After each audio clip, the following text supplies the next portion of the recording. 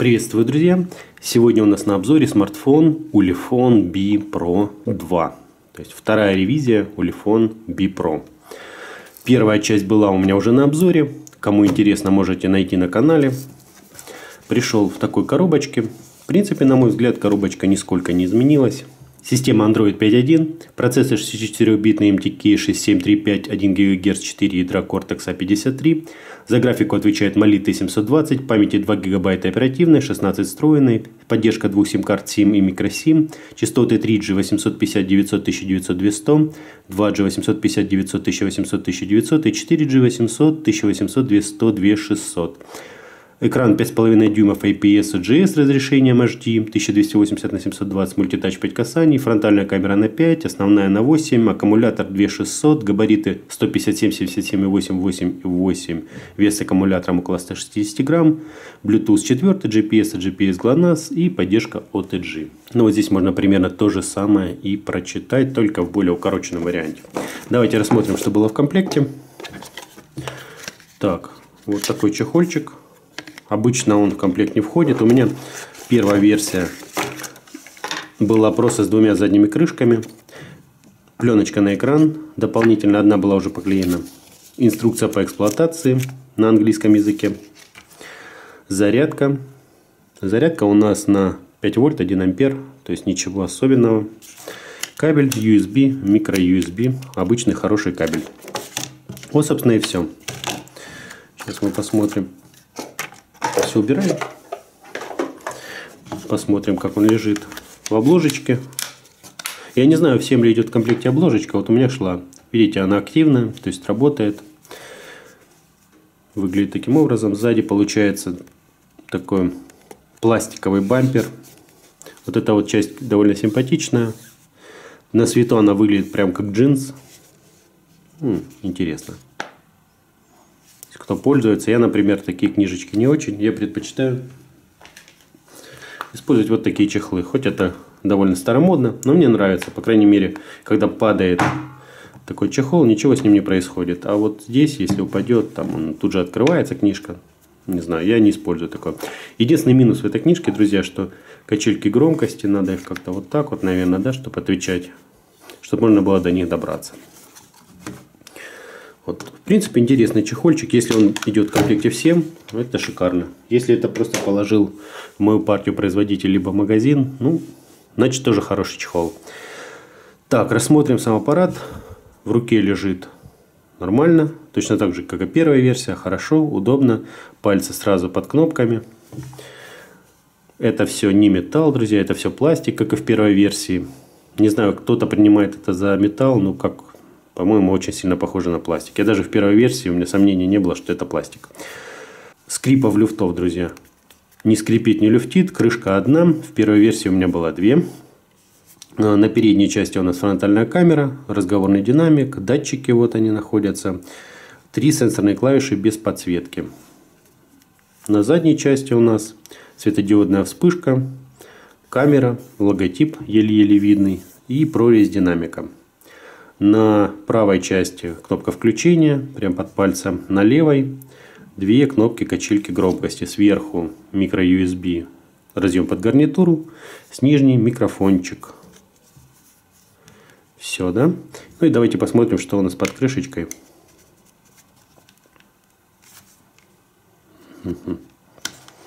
Открывается не всегда легко, но это и хорошо. Чем больше защелок, тем, тем лучше так вот открыл. Так, внутри слот под карту памяти и два слота под симки. Ну вот динамик сам. Защелочек много, защелкнули все. Батарейка заявлена 2600 мАч. Ну, это мы сейчас все протестируем. Давайте, кстати, с батарейкой сразу разберемся. Так, рассмотрим значение на USB-тестере. Значение примерно 2388 мАч. Если учитывать погрешность, то емкость примерно соответствует своей. Если мы рассмотрим Antutu тестер, то у меня батарея набрала всего 4705 баллов. В заключение батареи можно также добавить... Где она у меня здесь? Так, так. Вот. К сожалению, батарею в процентах данная версия прошивки, которая у меня установлена сейчас, не показывает. Только вот энергосбережение. Давайте проверим наличие индикатора событий. Он здесь есть. Убедимся, что он здесь есть. Вот он горит красным светом. Штекер здесь немножечко утоплен, поэтому не все, не все кабели подходят. Вот, например, вот этот мой кабель, он не комплектный и он немножечко отходит. Если вот такая вот, чуть-чуть отходит, видите, уже ничего нету. Вот так вот делаю, вот он заработал. То есть лучше использовать комплектный кабель или искать штекер побольше. Дисплей, друзья. Дисплей мы проверяем вместе с OTG всегда. Все, он определил. Есть поддержка OTG, это шикарно. Сейчас появятся новые альбомы. И мы проверим экранчик. Давайте примерно на этой фотографии. Так.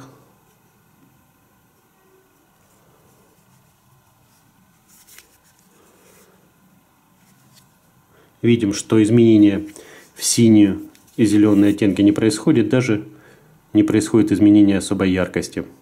Давайте еще одну фотографию. На белом всегда видно переход в синее или желтое. Как видим, с экраном здесь все отлично. Экран 5,5 дюймов IPS OGS HD разрешение. Так. Поддерживает мультитач, по-моему, до 5 касаний. Да, ровно 5 касаний. Связь. Данный аппарат поддерживает 2G, 3G и 4G частоты. Давайте рассмотрим их. Так, первая симка 2G, 3G, 4G частоты Band 1, Band 3, Band 7. Band 7 самый используемый в России. И Band 20. На второй симке только 2G. Еще из связи довольно хороший Wi-Fi. Это Wi-Fi через две стены, через три стены. К Wi-Fi претензий никаких нет, как и нет GPS.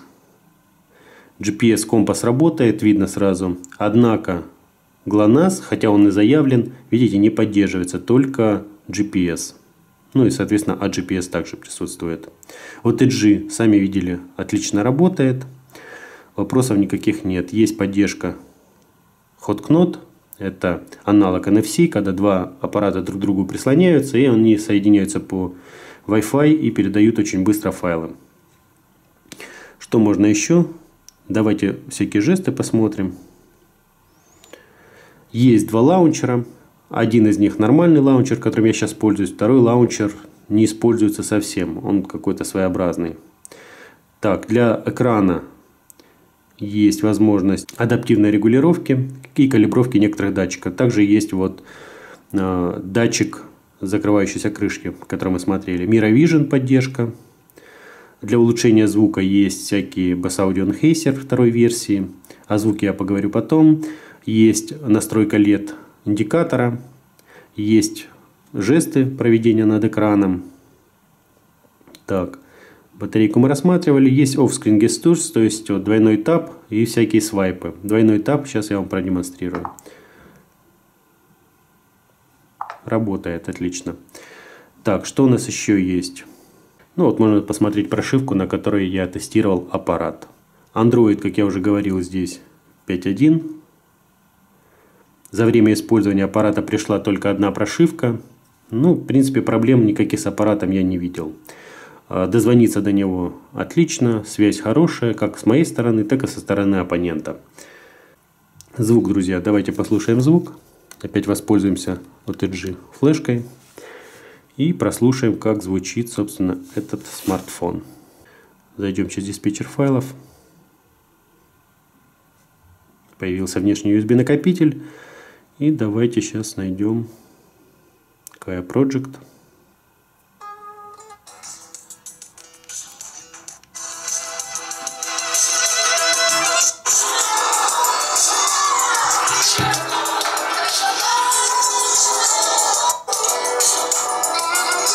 Звучит довольно громко. Когда ложим на поверхность, немножечко приглушается, но за счет вот своей формы, вот такой выгнутой, сильное приглушение отсутствует. То есть приглушается, ну, в меру так приглушается. По поводу звука в наушниках. Много об этом говорили. Просили меня хорошо тестировать звук в смартфонах. Здесь установлен Bass Audio Enhancer второй версии. Я использовал вот такие вот наушники для теста. Более профессиональные наушники для теста этого смартфона не нужны. Это у нас в Sonic VSD 1S новой реакции с кастомыми абушюрами. Что я могу сказать относительно звука? Звук, ну, очень среднего уровня. Есть, конечно, при помощи хорошего плеера. Я вот использовал HF плеер вот. При помощи этого плеера более-менее качество звучания есть, но присутствует некоторое мыло в звучании. То есть звучание не идеальное, не кристальное. Большинству людей она подойдет, но если вы большой любитель звука, то аудиоплеер, конечно, смартфон вам не заменит. Железо. В аппарате установлен процессор MTK 6735. Это четырехъядерный Cortex A53 по 1 ГГц 64-битный процессор. За графику отвечает Mali T720, 2 гигабайта оперативной, 16 встроенной. Какие отличия от предыдущей версии? В предыдущей версии был процессор, насколько я помню, 6732. Там было 1,3 или 1,7 ГГц на ядро. В общем, по сравнению с предыдущей версией, смартфон стал более медленный. У него поставили более слабую видеографику. То есть по поводу игр смартфон немножечко ухудшили по сравнению с прошлой версией. Однако по поводу энергосбережения здесь стало гораздо лучше. То есть работает аппарат немного дольше. На обычную работу его хватает около трех дней. Видите, немножечко порой притормаживает. Вот, если играть, ну, играть в него можно, кстати. Если вы посмотрите, у меня установлен Modern Combat 5. Попробовал на нем поиграть, все, в принципе, шикарно. Игра немножечко ухудшает графику и, в принципе, отлично идет. То есть, если вы такой игроман, то поиграть на этом смартфоне вам удастся. Самые тяжелые игры, конечно, придется играть на низком разрешении графики, но вот некоторые игры подстраивают свое разрешение сами. То есть вот э, никаких проблем с Modern Combat 5 я не испытывал. Поиграл в течение часа, все шикарно. Нагрева практически нет. То есть, э, как игровой его позиционировать нельзя, но поиграть на нем, конечно же, можно. Любые игры отлично идут. Давайте посмотрим различные тестики, которые я получил. Так. Ну вот, скриншот Modern Combat 5. Так, Epic Citadel 23 кадра на Ultra High Quality. На HD разрешение, в принципе, неплохое значение. Nano Mark 2 50 кадров. Bonsai 2049 или 29 кадров. Antutu 3D рейтинг на OpenGL 3 1656. Так, это тестирование батарейки. Antutu 601 набрал у нас 24 029 кадров. В самом низу, как всегда. Квадрант 10613. Geekbench 3 477 328. Ну, это вроде бы и все а, КПУ-Z давайте рассмотрим с вами. Здесь видим, что у нас каждое ядро процессора работает от 221 МГц до 988 ядер 4. Видим, что у нас установлено 5 сенсоров. Ну, обычно ставится 4, плюс еще магнитометр, который позволяет работать компасу и крышке. Вот такие вот у нас значения по поводу железа. Камеры, друзья. Тест-видео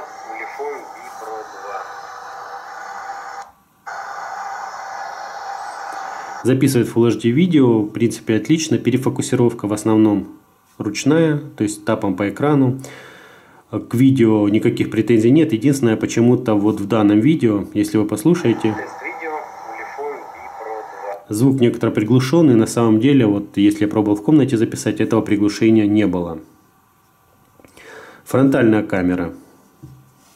Фронтальная камера у нас на 5 мегапикселей, камера более-менее годная. Для скайпа и таких легких селфи подойдет. Вот я себя сфотографировал. Нормальная, в принципе, фотография. Рассмотрим основную камеру. Основная камера у нас на 8 мегапикселей. детализация хорошая, но к углам начинает вот фокус падать. То есть есть такой недочет.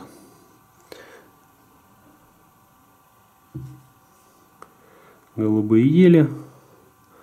Тоже смотрим, видим, что фокус падает к углам. Детализация отличная, просто шикарно. Можно много раз увеличивать картинку, но фокусировка идет основная по центру. Потом идет смазывание.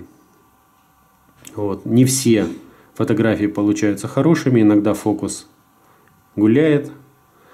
Но, в принципе, если сделать 2-3 снимка, можно увидеть нормальное качество фотографии. Здесь можно даже окурки рассмотреть. Вот, на свету яркий солнечный свет падает.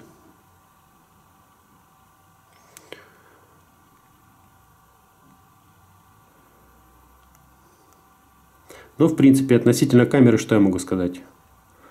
Камера нормальная. С фокусировкой не знаю, поправят ли или нет. Но фронтальная камера меня вполне устроила. Основная камера для своих 8 мегапикселей отрабатывает ну, достаточно хорошо. Не скажу, что отлично из-за фокуса, но вот мелкие детали видно замечательно. Можно масштабировать много раз. С камерой все хорошо. Выводы, друзья. Что можно сказать относительно выводов по этому смартфону? Смартфон, конечно, упростили по сравнению с прошлой версией. То есть все, в принципе, осталось на своих местах. Даже оперативной памяти внутренней осталось столько же.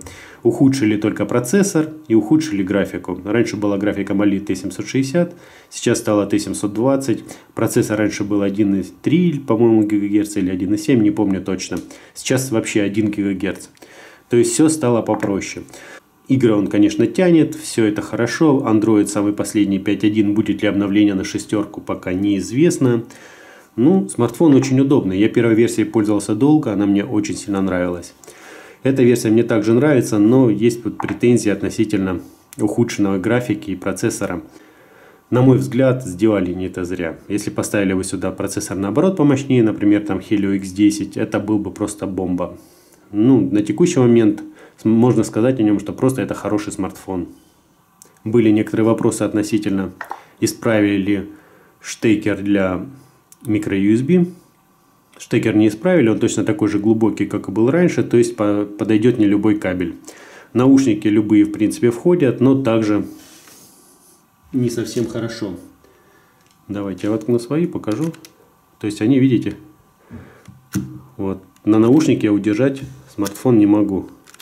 Вот я воткнул, то есть поднять, он вытыкается. То есть штекеры такие немножечко утопленные. Не так сильно, как у там топа утопленные. То есть наушники, в принципе, работают, и обычный штекер работает. Но все равно, как бы довольно хлипковато все это держится. А, претензий других к аппарату нет. Как был пластик, так пластик и остался. Начинка вроде бы нормальная. Ну, друзья, вот такой вот аппарат. Сами делайте для себя выводы. На этом все. Подписывайтесь на канал. С вас лайки, с вас подписка на группу ВКонтакте. Спасибо за просмотр. Всем пока.